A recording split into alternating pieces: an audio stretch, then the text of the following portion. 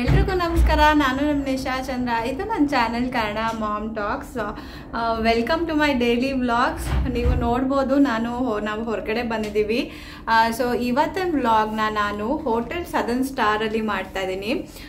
So ನಾನು ಮೈಸೂರಿಗೆ ಬಂದಿದ್ದೆ ಆ್ಯಂಡ್ ನಾನು ಮತ್ತು ಇವರು ಜಸ್ಟ್ ಫಾರ್ ಅ ನೈಟ್ ಹೋಟೆಲಿಗೆ ಬಂದಿದ್ದೀವಿ. ಸೊ ಇವತ್ತಿನ ಇಡೀ ದಿನ ಹೆಂಗೆ ಸ್ಪೆಂಡ್ ಮಾಡ್ತಾ ಇದ್ದೀವಿ ಅಂತ ನಿಮಗೆ ನಿಮಗೆ ತೋರಿಸ್ತೀನಿ. ಹನ್ನೆರಡು ಗಂಟೆಗೆ ಹೋಟೆಲ್ ರೂಮಲ್ಲಿ ಚೆಕ್ ಇನ್ ಇರೋದು. ಸೊ ನಮ್ಮ ಮನೆಯಿಂದ ಹೊರಡ್ತಾ ಇದ್ದೀವಿ ನೋಡಿ, ಇದು ನಾನು ಓದಿದ ಸ್ಕೂಲು ಮೈಸೂರಲ್ಲಿ, ನಿರ್ಮಲಾ ಕಾನ್ವೆಂಟಲ್ಲಿ ಓದಿದ್ದು ನಾನು. ಇನ್ನೇನು ತಲುಪ್ತಾ ಇದ್ದೀವಿ so this is the hotel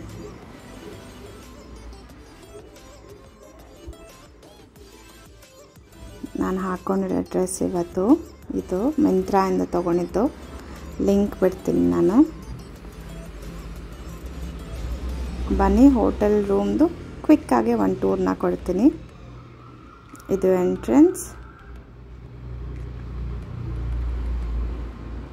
ತುಂಬ ಸ್ಪೇಷಿಯಸ್ ಆಗಿದೆ.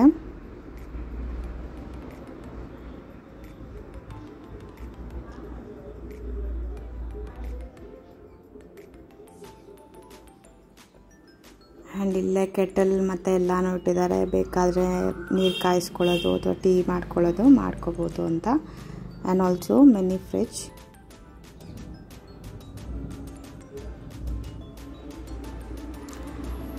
ಊಟಕ್ಕೆ ಹೋಗೋಣ ಅಂತ ಹೋಗ್ತಾ ಇದ್ದೀವಿ.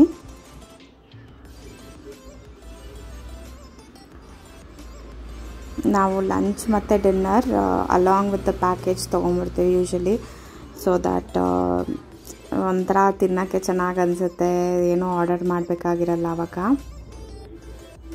ನೋಡಿ ಇದೆ buffet spread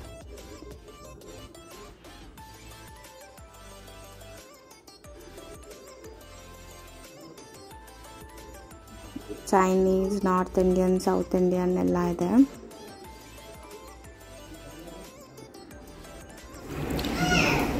ಕ್ಯಾ बहुत तुम मेरा पैसा वेस्ट करती हो बहुत मेहनत से कमाता आदमी यहाँ पैसा तो वेस्ट करूँगा नहीं कह रहा हूँ ಪ್ರತಿ ಸತಿ ನಾವು ಬುಫೆಗೆ ಹೋದಾಗ ಇವ್ರ ಕಡೆಯಿಂದ ಒಂದೇ ಲೆಕ್ಚರ್ ಸಿಗುತ್ತೆ ಏನಂದರೆ ನಾನು ಕಮ್ಮಿ ತಿಂತೀನಿ ಎಷ್ಟು ದುಡ್ಡು ಕೊಟ್ಟಿರ್ತೀವಿ ಈಗ ಫಾರ್ ಎಕ್ಸಾಂಪಲ್ ಈ ಬುಫೆಗೆ ತೌಸಂಡ್ ರುಪೀಸ್ ಓಕೆನಾ ಬಟ್ ನನ್ಗೆ ನನಗೆ ಏನು ಸೇರುತ್ತೆ ನಾನು ಅಷ್ಟೇ ತಿಂತೀನಿ ನಾನು ಫೋರ್ಸ್ಫುಲಿ ನಾನು ಜಾಸ್ತಿ ತಿನ್ನೋಕ್ಕಾಗಲ್ಲ ಸೊ ಅದಕ್ಕೆ ಹೇಳ್ತಾ ಇದ್ದಾರೆ ಫುಲ್ ದುಡ್ಡು ವೇಸ್ಟ್ ಮಾಡಿಸ್ತೀಯಾ ಪ್ರತಿ ಸತಿ ಹಿಂಗೆ ಮಾಡ್ತೀಯಾ ಅಂತ ಸುಮ್ಮನೆ ಜೋಕಾಗಿ ಹೇಳ್ತಾರೆ, ಅಷ್ಟೊಂದೇನು ಸೀರಿಯಸ್ ಇಲ್ಲ ಬಟ್ ನಾನು ಚಿಕ್ಕವಳಿಂದನೂ ಅಷ್ಟೇ ನಾನೇ, ತಿನ್ನೋದೆಲ್ಲ ಕಮ್ಮಿ ದಿವಿತೂ ನಾನೇ ಊಟ ಆಯ್ತಲ್ವಾ? ಹಾಗೆ ಸ್ವಿಮ್ಮಿಂಗ್ ಪೂಲು ಮತ್ತು ಏನೇನು ಇವ್ರ ಹತ್ರ ಅಮ್ಯುನಿಟೀಸ್ ಇದೆ, ಅದು ನೋಡ್ಕೊಂಬರೋಣ ಅಂತ ಹೊರಗಡೆ ಬಂದ್ವಿ.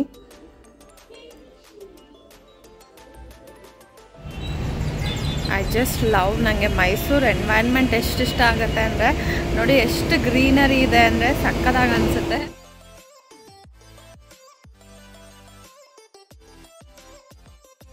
ಸದನ್ ಸ್ಟಾರ್ ಬಂದು one of the oldest hotel ಅಂತ ಹೇಳ್ಬೋದು ಮೈಸೂರಲ್ಲಿ.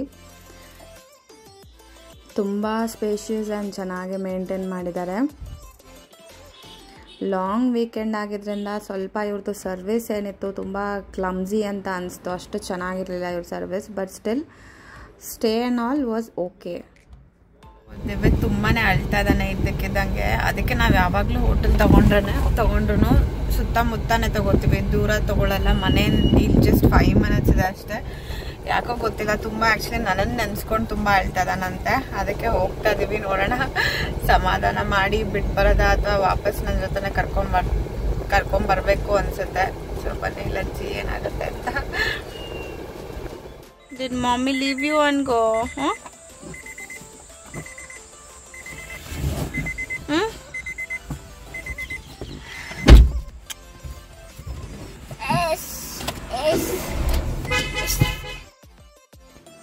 ಒನ್ ಅವರಿಂದ ಹತ್ತಿದ್ದಾನೆ. ಸೊ ಅವ್ನ ಮುಖ ನೋಡಿದ್ದೀರಾ? ಹೆಂಗಾಗಿದೆ ಅಂತ ನಮ್ಮಮ್ಮ ಸಮಾಧಾನ ಮಾಡೋಕ್ಕೆ ಟ್ರೈ ಮಾಡಿದ್ದಾರೆ ಬಟ್ ಆಗಲಿಲ್ಲ ಅಂತ ಆಮೇಲೆ ನನ್ನನ್ನು ಕರೆಸಿದ್ರು. ನಮ್ಮ ಜೊತೆನೇ ಹೋಟೆಲ್ ರೂಮ್ಗೆ ಕರ್ಕೊಂಬಂದೆ ಇನ್ನಂತೂ ಇಷ್ಟ ಹತ್ತ ಮೇಲೆ ಅವನನ್ನು ನನಗಂತೂ ಬಿಡೋಕ್ಕೆ ಮನಸ್ಸೇ ಇಲ್ಲ. ಅವನು ನೋಡಿ ಆ್ಯಕ್ಚುಲಿ ನನಗೆ ತುಂಬ ಅಳು ಬಂದ್ಬಿಟ್ಟಿತ್ತು. ಅಷ್ಟು ಹತ್ತು ಹತ್ತು, ಯಪ್ಪ, ನಿಜವಾಗ್ಲೂ ಇನ್ನೊಂದು ದಿನ ಅಂತೂ ನಾನು ಬಿಟ್ಟು ಹೋಗಲ್ಲ. ಮುಂಚೆ ಸುಮಾರು ಸರ್ತಿ ಬಿಟ್ಟಿದ್ದೀವಿ ಯಾವತ್ತೂ ಈ ಥರ ಹಠ ಮಾಡಿಲ್ಲ. ತುಂಬ ಖುಷಿಯಾಗಿ ಆಟ ಆಡ್ಕೊಂಡು ಇರ್ತಿದ್ದ ಬಟ್ ನಂಗೆ ಗೊತ್ತಿಲ್ಲ ಮೋಸ್ಟ್ಲಿ ಅವ್ನು ಕೋಲ್ಡ್ ಕೂಡ ಆಗಿತ್ತಲ್ವ? ಅದಕ್ಕೆ ಯಾಕೋ ತುಂಬ ಅಪ್ಸೆಟ್ ಆಗಿದ್ದಾನೆ. ಮಲಗಿದ್ದ, ಮಲಗೆದ್ದ. ಈಗ ಅದಕ್ಕೆ ಸದ್ಯ ಇಲ್ಲಿ ಹೋಟೆಲಲ್ಲಿ ಕಟ್ಟಲ್ಲಿದೆ ಅದಕ್ಕೆ ಬಿಸಿನೀರು ಕಾಯಿಸ್ಕೊಳ್ಳೋಣ ಅಂತ ಅಂದ್ಕೊಂಡೆ ಏನಂದರೆ, ಅವನಿಗೆ ಸ್ವಲ್ಪ ನಂಗೆ ಅನಿಸ್ತಾ ಇದೆ ಫೀವರ್ ಕೂಡ ಇದೆ ಅಂತ. ಸೊ ಮೋಸ್ಟ್ಲಿ ಅದಕ್ಕೆ ನಮ್ಮನ್ನು ನೆನೆಸ್ಕೊಂಡು ತುಂಬ ಅಳ್ತಾ ಇದ್ದ. ಎನಿವೈಸ್ ಬಂದಿದ್ದೊಂಥರ ಒಳ್ಳೇದಾಯಿತು ಕೆಳಗೆ ಕರ್ಕೊಂಡು ಹೋಗಿ ಸ್ವಲ್ಪ ಆಟ ಆಡ್ಸ್ಕೊಂಬರೋಣ ಅಂದ್ಕೊಂಡೆ ಸೊ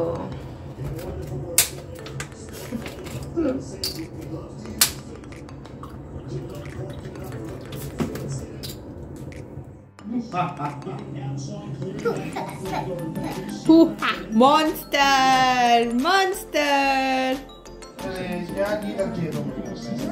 कुछ न पानी है Monster! Ooh,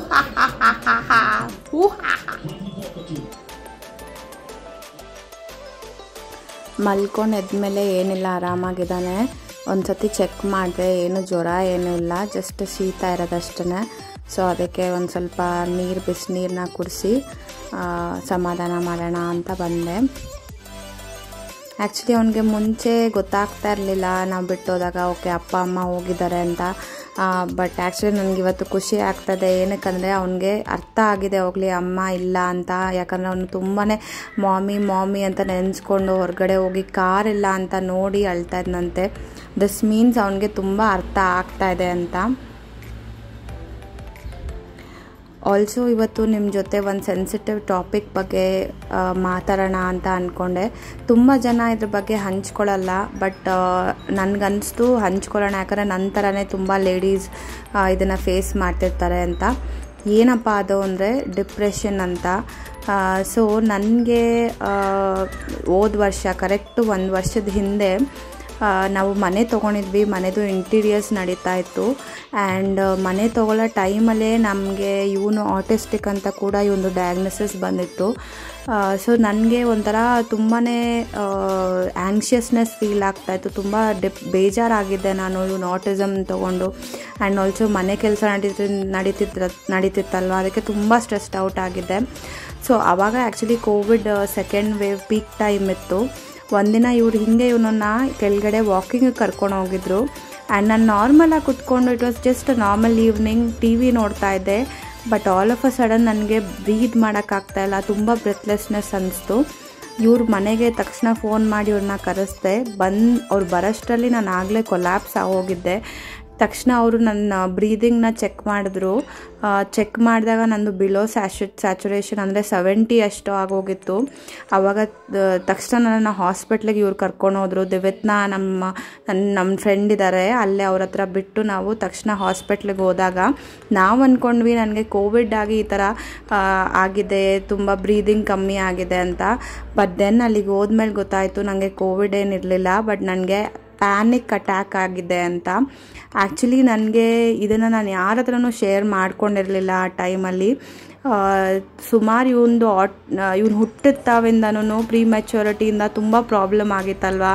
two three times ಇವನಿಗೆ ಉಸಿರಾಟ ನಿಂತೋಗಿತ್ತು ಆ್ಯಂಡ್ ತುಂಬ ಕಷ್ಟಪಟ್ಟಿದ್ವಿ ನಾವು ಎನ್ ಐ ಸಿ ಯುಲಿ ಸೊ ಅದೆಲ್ಲ ಟ್ರಾಮಾ ನನ್ನ ಒಳಗೆ ಉಳಿದಿತ್ತು. ನಾನು ಯಾರ ಹತ್ರನೂ ಶೇರ್ ಮಾಡ್ಕೊಂಡಿರಲಿಲ್ಲ ಅಷ್ಟು, ಅಥವಾ I don't know what it is but ನನಗೆ ಇದ್ದಕ್ಕಿದ್ದಂಗೆ ಸಂಜೆ ಆಗಿದ ತಕ್ಷಣ ಒಂಥರ ಕತ್, ಕಣ್ಮುಂದೆ ಕತ್ತಲೆ ಆಗೋದು, ತುಂಬ ಭಯ ಭಯ ಆಗೋದು. ಚೆನ್ನಾಗೇ ಇರ್ತಾ ಇದೆ ಬಟ್ ತುಂಬ ಮೂಡ್ ಸ್ವಿಂಗ್ಸ್ ಆಗೋದು. ಒಂದು ನಿಮ್ ಒಂದಿನ ಅಂದರೆ ಬೆಳಗ್ಗೆ ಹೊತ್ತು ಖುಷಿಯಾಗಿದೆ ಸಂಜೆ ಆಗಿದ ತಕ್ಷಣ ಏನೋ ಒಂಥರ ಭಯ ಆಗೋದು, ಏನೋ ಒಂಥರ ಏನೋ ಕಳ್ಕೊಂಡಿದ್ದೀನೇನೋ ಅಂತ ಅನ್ಸೋದು. ತುಂಬ ಅಳು ಬರೋದು, ಈ ಥರ ಎಲ್ಲ ಆಗ್ತಾಯಿತ್ತು ಬಟ್ ನನಗೆ ಅದು ಡಿಪ್ರೆಷನ್ ನಾನು ಡಿಪ್ರೆಸ್ ಆಗಿದ್ದೀನಿ ಅಂತ ನನಗೆ ನಿಜವಾಗ್ಲೂ ಗೊತ್ತಿರಲಿಲ್ಲ. ಬಟ್ ಎಸ್ ನನಗೆ ಅವತ್ತು ಆ ಎಪಿಸೋಡ್ ಆದಮೇಲೆ ಡಾಕ್ಟರ್ ಡಯಾಗ್ನೋಸಿಸ್ ಮಾಡಿ ಹೇಳಿದ್ರು, ಹೌದು, ನನಗೆ ಡಿಪ್ರೆಷನಲ್ಲಿದ್ದೀನಿ ಅಂತ. ಅದಾದಮೇಲೆ ನನಗೆ ಮೆಡಿಕೇಷನ್ ಶುರು ಮಾಡಿದ್ರು. ಆಲ್ಮೋಸ್ಟ್ ಒಂದು ತಿಂಗಳು ನಾನು ಮೆಡಿಕೇಷನ್ಸ್ನ ತೊಗೊಂಡೆ.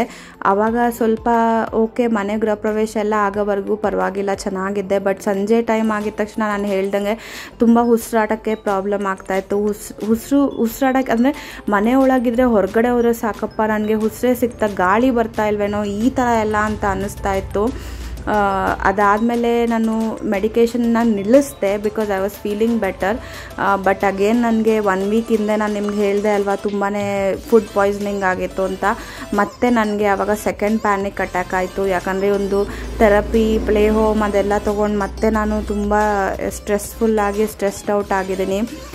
ಸೊ ಅದಕ್ಕೆ ನಾನು ಮೆಡಿಕೇಷನ್ಸ್ನ ಮತ್ತೆ ಶುರು ಮಾಡಿದ್ದೀನಿ ಈಗ. ಸೊ ರೈಟ್ ನಾವು ನಾನು ಮೆಡಿಕೇಷನ್ಸಲ್ಲಿದ್ದೀನಿ ಆ್ಯಂಡ್ ನಾನು ಇದನ್ನು ಯಾಕೆ ನಿಮ್ಮ ಹತ್ರ ಶೇರ್ ಮಾಡ್ಕೋತಾ ಇದ್ದೀನಿ ಅಂದರೆ ತುಂಬ ತಾಯಂದಿರು ನೋಡ್ತಾ ಇರ್ತೀರಾ. ಈ ಡಯಾಗ್ನೋಸಿಸ್ ಆಗಿದ ತಕ್ಷಣ ಎಷ್ಟು ಟೆನ್ಷನ್ ಆಗುತ್ತೆ ತಾಯಂದಿರು ನಮಗೆ ಮೇನ್ಲಿ ನಮ್ಮ ಮಕ್ಕಳೇನಪ್ಪ ನಮ್ಮ ಮಕ್ಕಳು ಫ್ಯೂಚರ್ ಏನಪ್ಪ ಅಂತ. ಸೊ ನನಗೀಗಲೂ ಕೂಡ ಪ್ರಾಬ್ಲಮ್ ಇದೆ. ಒನ್ ಟೈಮಲ್ಲಿ ಚೆನ್ನಾಗಿರ್ತೀನಿ ಒನ್ ಟೈಮಲ್ಲಿ ನನಗೆ ಭಯ ಆಗೋಕ್ಕೆ ಶುರು ಆಗುತ್ತೆ, ಇಲ್ಲ. ಉಸಿರಾಡೋಕ್ಕೆ ತೊಂದರೆ ಆಗೋಕ್ಕೆ ಶುರು ಆಗುತ್ತೆ. But somehow I am trying to cope up I hope ನೀವು, ನಾನು ಇದೇನು ಹಂಚ್ಕೋತಾ ಇದ್ದೀನಿ ನಿಮ್ಮ ಜೊತೆ ಕೂಡ ಆಗಿದ್ರೆ ಕಮೆಂಟ್ ಮಾಡಿ ನನಗೆ ತಿಳಿಸಿ ಸೊ ದಟ್ ನನಗೆ ಗೊತ್ತಾಗುತ್ತೆ okay I am not the alo I am not the only one who's going through this ಅಂತ ನನ್ನ ವಿಡಿಯೋನ ನೀವು ನೋಡ್ತೀರಾ? ಆ್ಯಂಡ್ ಸುಮಾರು ನನ್ನ ಪ್ರಾಬ್ಲಮ್ಸ್ ಆಗಿರಲಿ ನನ್ನ ಖುಷಿ ಆಗಿರಲಿ, ನಾನು ನಿಮ್ಮನ್ನು ನಿಮ್ಮ ಜೊತೆ ಇದನ್ನು ಶೇರ್ ಮಾಡ್ತೀನಿ. ನನಗೆ ನಾನು ಏನಕ್ಕೆ ಈ ಚಾನಲ್ನ ಶುರು ಮಾಡಿದೆ ಅಂತ ಅಂದರೆ ಮೇನ್ಲಿ ಈ ಥರನೇ ನನಗೆ ಏನೇನು ಪ್ರಾಬ್ಲಮ್ಸ್ ಇದೆ, ಇದನ್ನು ಜನಗಳ ಹತ್ರ ಹಂಚ್ಕೊಳ್ಳೋಕ್ಕಾಗಲ್ಲ ನಮ್ಮ ರಿಲೇಟಿವ್ ಫ್ರೆಂಡ್ಸ್ ಹತ್ರ ಬಟ್ ನಿಮ್ಮ ಹತ್ರ ಹಂಚ್ಕೋಬೋದು ಅಂತಲೇ ನಾನು ಮೇಯ್ನಾಗಿ ಚಾ ಈ ಚಾನಲ್ನ ನಾನು ಓಪನ್ ಮಾಡಿದ್ದು and through this channel I am channelling out my emotions. Thank you so much for watching my video. Please please please ನನ್ನ ಚಾನಲ್ನ ಸಬ್ಸ್ಕ್ರೈಬ್ ಮಾಡಿ ಆ್ಯಂಡ್ ನಿಮ್ಮಿಂದ ನನ್ನ ಚಾನಲ್ ತುಂಬ ಚೆನ್ನಾಗಿ ವೀಡಿಯೋಸ್ ನಡೀತಾ ಇದೆ ಆ್ಯಂಡ್ ಇದರಿಂದ ಖಂಡಿತವಾಗ್ಲೂ ನಾನು ಖುಷಿಯಾಗಿದ್ದೀನಿ ಆ್ಯಂಡ್ ನನ್ನ ಮೂಡ್ ಚೆನ್ನಾಗಿರುತ್ತೆ. Thank you so